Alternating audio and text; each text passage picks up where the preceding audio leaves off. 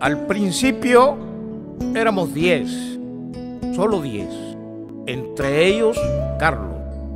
Después fuimos centenares y ahí estaban Ricardo y Doris.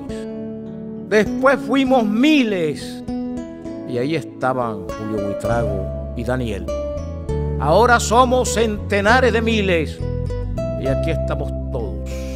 Ahora somos una gran familia.